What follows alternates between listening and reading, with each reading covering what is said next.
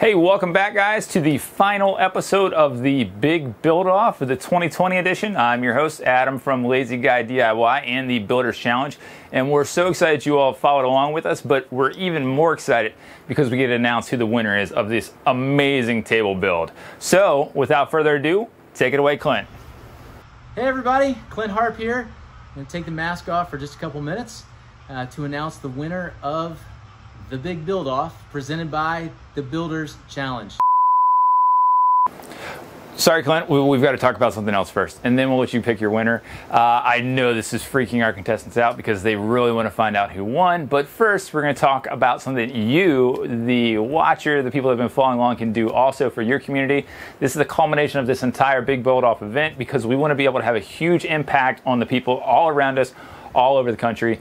And this is with Cat Footwear, Build for Better, and the Builders Challenge. But we want you to build a little library or a community library. We're going to have full details on this here, and we're going to have plans, links to free plans down here. So check the website for all the details.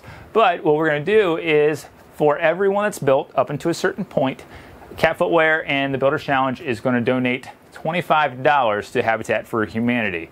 And if you don't think you can build, if you're not as handy with the tools, then what you can do is donate to a community library or a community pantry in your neighborhood, and we'll give you details how to submit that, and we'll donate $5 to Habitat for Humanity. So we're very excited about this. It's a great way to give back.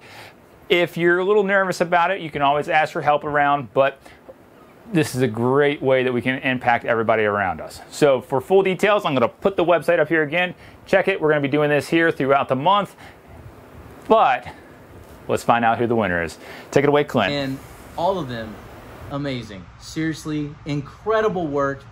I had to stare at these pictures long and hard. I mean, I was zooming in, I was looking at the different details. They were all amazing.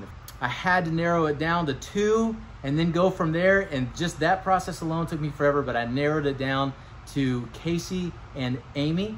And uh, it was tough, y'all. I'm not kidding. I like seriously lost sleep. Um, this was a tough one. In the end, though, absolute beautiful work by everybody. The winner, though, Amy at her tool belt. Incredible job. What an amazing table. Uh, I am a sucker for contrast. So the walnut with the maple highlights, woo, loved it. Just beautiful, uh, beautiful. That's a new word, beautiful. Um, the the the detail on the tabletop, fantastic. I loved how you laminated the stock together on the base and then cut out those beautiful curves which made up the four legs that were all joined together perfectly and kind of reminded me of sort of a cathedral-esque detail, which I also love cathedrals. Um, the runner-up, um, uh, Casey, his work also had this beautiful curved detail on the base. Very amazing, just an almost an architectural detail. I loved it, uh, just fantastic. But at the end of the day, Amy at her tool belt, incredible job. Congratulations, you win. Thank you everybody for all of your entries to the Final Four well done to the champion. Congratulations. Thank you so much at the Builders Challenge for making me a part. And uh, until next time, I'm honored to be here. Thank you guys. See ya. Congratulations, Amy. That is amazing. Your table was absolutely beautiful. I know that the other ones were awesome as well. I know when I was looking at them that it was going to be a tough choice. So thank you to Clint Harp for deciding for us and being our judge. Uh, I know it could not have been easy. So congratulations, Amy. We're very excited for you. Uh, we're excited for the families and charities that receive the donations of these builds as well. So thank you to our contestants and also thank you to our sponsors.